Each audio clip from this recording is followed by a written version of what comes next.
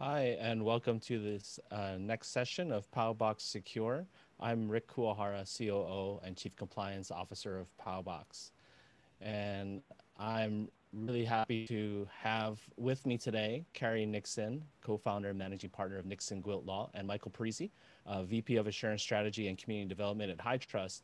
And we're here to talk about regulation and innovation in healthcare um, as we know, it doesn't always go together nicely, but um, I think this will be a great conversation to see um, how things are, where we are now and how things are heading. Um, before we get started, um, if you have any questions, please throw it in that session Q&A um, in the chat next to the screen. and we'll be go ahead and address them at the end. If for some reason we don't get to those questions, then we will do a follow up email with you guys. We'll get a written response from Mike and Carrie and get that over to everybody after the conference. Um, but before we get started, maybe Carrie and Mike, if you don't mind doing a short introduction about yourself. Sure, I'll start. This um, I'm Carrie Nixon. Um, as Rick said, I am with Nixon Gwilt Law, and we are a law firm that specializes uh, specifically or focuses specifically on healthcare innovation. So we serve uh, a lot of digital health companies, including uh, telehealth and remote patient monitoring companies, and have experienced um, a lot with all of the uh, changes to regulations coming down uh, from, from CMS during this time. Great, thanks, Carrie. Sorry, I'm, I'm located just outside of Washington, D.C., in case you all are wondering where I'm coming to you from. There you go. Yeah, so Mike Parisi, uh, Vice President of Strategy and Community Development at High Trust, and we are a globally recognized standards organization in the security and privacy space. And our programs allow organizations to provide assurances around security and privacy to their relevant stakeholders. So I'm very happy to be here today and have the discussion. Great. Thanks, Carrie and Mike. Um, so to kick things off right away, um, obviously the pandemic has um, affected a lot of people and a lot of industries in a negative way. But you know, kind of on the flip side, um, healthcare has um, it, may have actually helped healthcare a little bit uh, adopt with technology. Um, how have you guys seen healthcare adjust to the pandemic, um, despite being in a heavily regulated industry? Um, Carrie, do you want to start? Sure. I really think and hope that we are at a turning point for digital health in this country. Um, we have seen firsthand now the, the sort of effects of being caught flat footed, right? Where uh, we have a lot of technologies and digital health innovations available to us, but sometimes our regulatory infrastructure is well behind and is not a, at a point to, uh, to support some of those technologies you know, in the, ca- in the case of telehealth, this technology had been in existence for a long time, but uh, it really um, had not been widely adopted because of the reimbursement policy and, and legislation that was in place with respect to Medicare patients. And, um, you know, we know that things that don't get paid for in healthcare tend not to get done. So when we we're faced with COVID and faced with the challenge of getting virtual care services uh, to many, many people who would not be able to go into their doctor's office. This was uh, this was a real um, a real kick in the kick in the pants to sort of get moving on allowing things like telehealth and remote patient monitoring to be used in a much more um, uh, broad manner and in fact to be reimbursed in a broad manner. So we saw in March and April CMS come out with a number of um, with two interim rules that made changes to the uh, to the telehealth policy and specifically announced a waiver of the requirement that telehealth could only be reimbursed for Medicare patients if it was uh, provided in to a patient who is who lives in a, in a rural area. And if that patient went to what they called an originating site such as a rural health clinic to actually receive the telehealth services from another provider. They you know they that was obviously very very limiting to uh, to patients. And so cms was able to waive uh, that requirement during COVID. And we are very hopeful that, um, you know, that this will be a lasting change that we will see in, in telehealth. Um, many more, uh, you know, changes that I could point to, but that is, is sort of a primary and foundational example.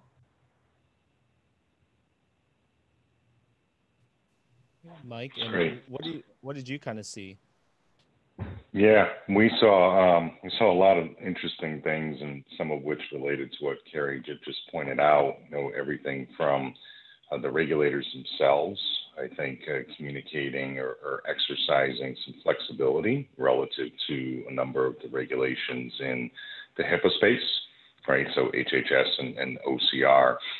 You know, what, what's interesting is I think it's forced um, not only the regulators, although I don't know that they would admit this just yet, um, but certainly organizations to think about this concept of relevancy as it relates to uh, security and privacy posture and regulations more broadly um, in you know situations like this, right? So when you look at some of the things that are in place and are impacting the healthcare industry from a regulatory perspective, they're they're really very burdensome, and, and some of them are, are almost barriers for organizations to operate within an environment uh, that we're in now, right? And some of the things that Carrie had mentioned, especially health tech organizations and, and telehealth organizations. So instead of, as, as we know, last time I looked, um, our, our, regulators don't don't move at lightning speed. So instead of being able to change and, and alter those regulations to allow for that, they basically had, had to put it on hold, right? Um, is, is one thing that, that, that we saw. In addition to that, you know, healthcare organizations themselves having to adjust to obviously, you know, working remotely. Um, I think that that was mixed, um, mixed outcomes, right? So you had some organizations that were able to shift very quickly because they were probably already piloting or utilizing some of the solutions from companies like that, that Carrie's um, organization helps, and it made it quite easy and probably easier than they thought. Where others they needed to actually stand up, you know, new operations, new programs, new infrastructure, et cetera. The other thing that, that we saw, and the last thing I'll mention, is adjusting this concept of third party risk management, really two different ways.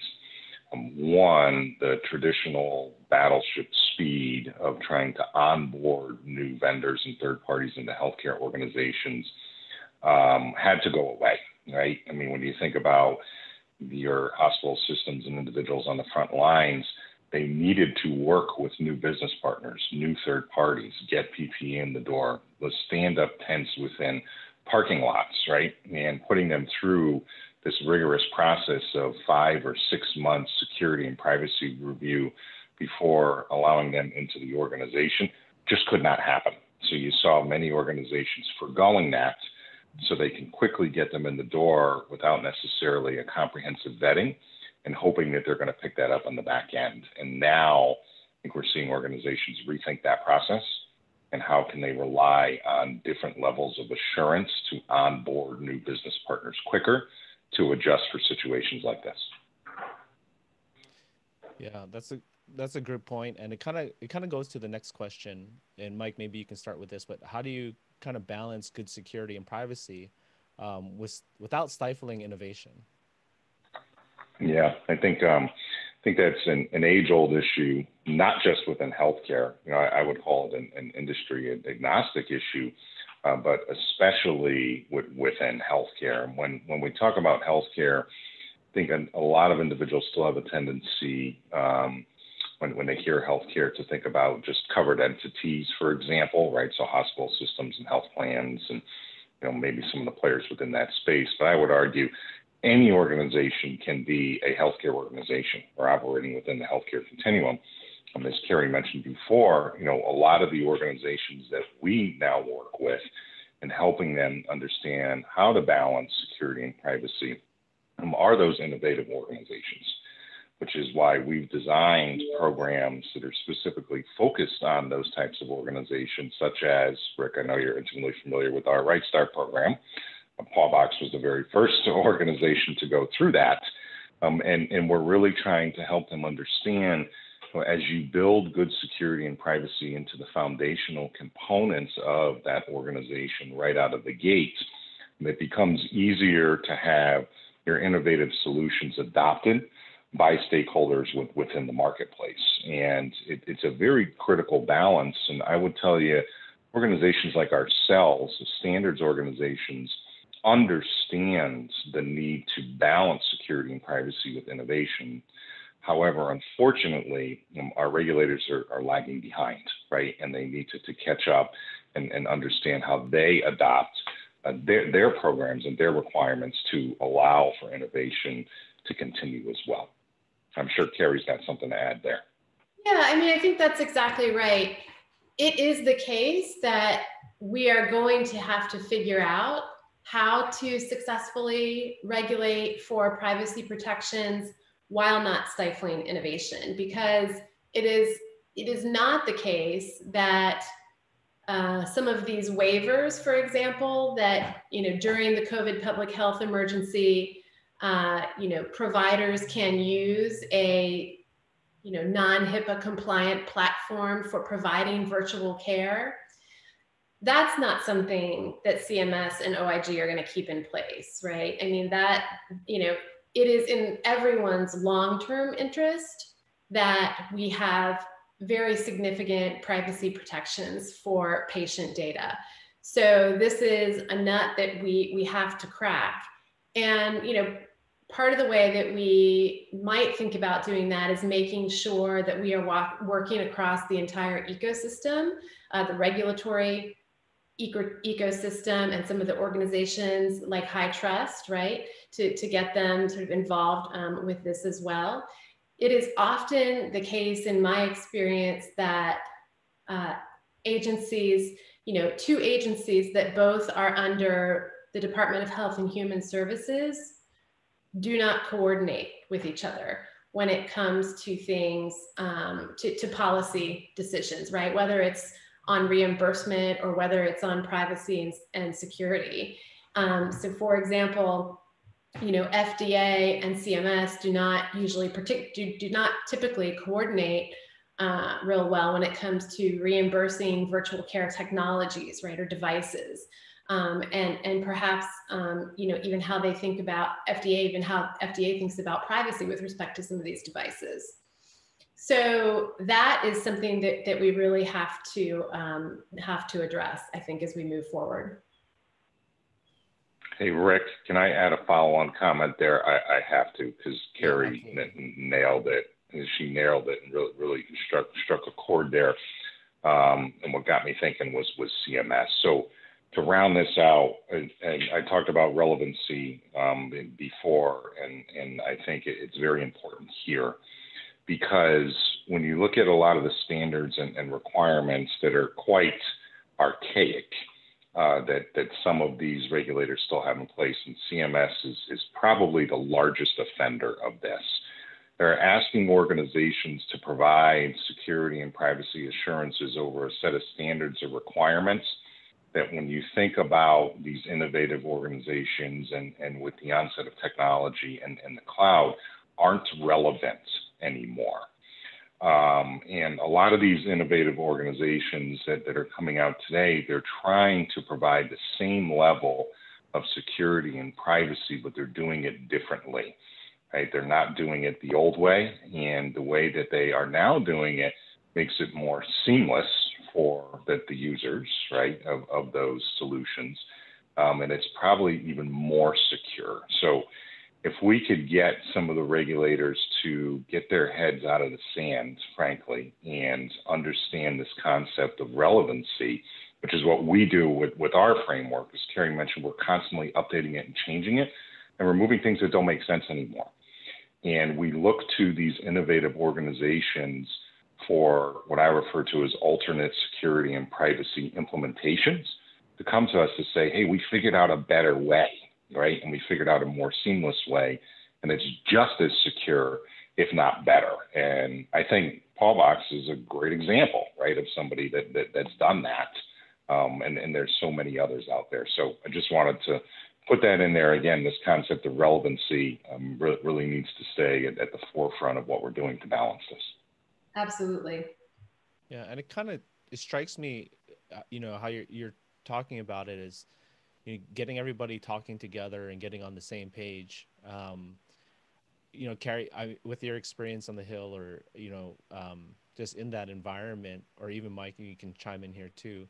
Are you seeing are there discussions going back and forth you know how, how are people able to work with the regulators to say you know like you said mike hey, these this is the reality now you know how can we get this updated i know that there's a few you know groups that are formed um, but how's that is that conversation happening? You know how's it going forward? You know, kind of where are we at with that? Yeah so i'll start out. When it when it comes to telehealth specifically it's not just the regulators we're dealing with. Uh, telehealth reimbursement for Medicare patients, which is a, an enormous part of our uh, healthcare system, um, is actually regulated by, well, is actually governed by Section 1834M of the Social Security Act that was passed, I believe, back in 1997. And it was during that time in 1997 when Congress decided to the conditions under which telehealth would be reimbursed for Medicare. And those conditions were you have to be located in a rural or, or geographically underserved area, and you have to go to an originating site in order to receive telehealth. So this, so if you think about this, right, you have uh, in a rural area, um, patients are not likely to have access to the same kind of specialists if they were and they were in, in the big city. So this was really, this legislation really evolved to allow uh, people in rural areas to go to their rural health clinic and connect to, on the other end, to a hospital or health system, to a specialist maybe located in a, in a city three or four hours away. And it hasn't changed since that right? So so since then and and it's crazy. Um you know the technology has for telehealth has evolved so that it's extremely easy to have uh, access to it uh, in your home if indeed you have broadband and we can we can put that uh, aside uh, for a moment as, as another issue maybe we, we touch on but it's even easy to have you know uh, devices connected devices in your home um, where you know that can be helpful um, in a telehealth visit um, and certainly in remote patient monitoring. So Congress is sort of the first barrier uh, in the way in terms of um, removing the legislative barriers to reimbursement for telehealth. Um, and hopefully they will do so. Uh, here, there have been a couple of hearings on the Hill during COVID, and um, one in the House and one in the Senate, uh, at least, maybe a couple more. And there has been bipartisan support for expanding telehealth and virtual care services. Um, that's really good news in the hearing, but it actually doesn't mean a whole lot unless they actually get to work and, and pass the legislation. And, and as everyone may have noticed, Congress does not seem particularly uh, eager to to coordinate or collaborate on passing anything these days. So, you know, maybe we wait post election. When it comes to CMS, um, I was pleased to see during COVID the outreach that CMS made to organizations like the Connected Health Initiative and the American Telemedicine Association and uh, the Consumer Technology Association to get their feedback on on on what was needed right? And what what constraints need to be loosened. I think that if that feedback were sought on a more regular basis um, and if those you know if interactions with sort of on the ground stakeholders happened more with the policymakers at cms I think we would move a bit faster, um, hopefully, in, in the right direction. Um, there has got to be an understanding on the part of the policymakers in CMS and at FDA as to how these things are actually used and implemented on the ground with patients and with providers. So I'll, I'll pause there. Yeah, I would. Um, I agree with everything that Carrie said, and I'm I'm not a lawyer, but but but she is. She needs. She knows the the the, details of all, all the regulations um, more so than I do. But you know, a couple things to, to hinge upon that that, that Carrie mentioned. Um, you know, and especially that that last piece.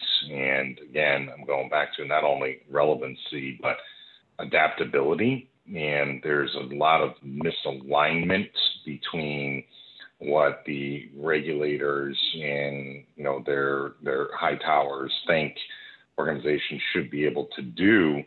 Um, however, with a lot of these solutions, it may be impossible to to implement, right?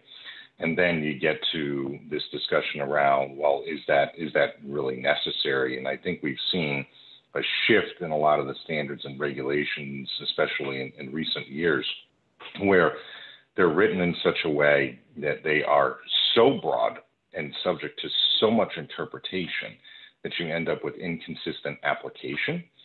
And the the challenge there is uh, the spirit of what they're trying to support, which I'm totally behind, right? Protecting people's personal information kind of gets lost along the way. So one of some of the things that we're doing and that we're seeing some some positive reception from a lot of the regulators is um, having a discussion around how do you tell the story of how an organization is meeting the spirit of what they are telling them they need to have in place and them being more receptive to that story because there's there's more than one way to address uh, the regulations and, and the requirements that exist across many of these standards. So educating them and we understand you know what it is that you're trying to achieve. but you need to be open to different ways in order to address that um, and not be so draconian when it comes to the enforcement side of the house. And OCR is probably the, the best example of that um, in recent years. I mean, it's really a, a, luck of the draw or a roll of the dice, depending upon which regulator you get in what region, what your outcomes could be. Um, and it really shouldn't be that way. So if we're trying to enforce consistency around application, we need to enforce enforce consistency around interpretation and also enforcement. And that's a lot of the discussions that that we've been having. And also pushing these organizations to understand accepting certain levels of assurance or certain third party assurance reports that do, in fact, align to their standards is something that they should be doing more. Um, and it's only going to make their jobs easier and make the entities that are implementing standards and ensuring they're enforcing those standards themselves, it's going to make their job a lot easier as well. Um, so those, those are some of the things that I'm seeing and, and that we're doing as well. Yeah, and I'll just add real quick that you know these regulators have to kind of walk a fine line, right? I mean, they they on the one hand, they need to create regulations that are broad enough so that they don't inadvertently um, disincentivize uh, an innovative use of something or an innovative product um, because they've thought too narrowly, right? So, so you could you could easily see a situation whereby CMS might regulate uh, around something in a way that has not yet imagined a use case that could be done a little bit differently just a year down the road. So by the same token, so they so it's got to be broad enough to allow for some innovation. By the same token, CMS has also, and all of the regulators have, you know, put the fear of God into physicians and companies who um, create these products and and use them. Um, they are terrified of, you know, picking, getting, having the wrong regulator, right, come and visit them from OCR, uh, as as Michael just just mentioned, and um, they're terrified of, you know, both uh, you know some of the the the very steep you know privacy um, um, uh, you know ramifications. If if if they uh, and fines if they you know have a privacy breach they're very concerned about running inadvertently running afoul of the fraud and abuse laws and it would be nice um, so it would be nice if if CMS and the FDA and, and regulators as a whole kind of said, hey, everyone, you know, we are leaving this Um, we're leaving this open to an extent, so we want to allow you to innovate and figure out what works best. But by the same token, you know, don't abuse it, right? And that's, I think, the message sort of that needs to get across because you have, um, you know, both healthcare providers and companies that want to do the right thing, but are really afraid of getting something wrong inadvertently. And then on the other hand, you have the bad actors that, that somehow we have to protect against. So it's, it's kind of a fine line. Thanks. Thanks, Carrie and Mike. I think, you know, that kind of nicely segues us into this, the last five minutes we have here. Um, do you see a point in the near future where, you know, there will be alignment and that balance between um, regulation and innovation? I can go first, um, and then and then hand it to, to Carrie. So um, I think two two words in that question stand out and make it interesting to answer, which is near.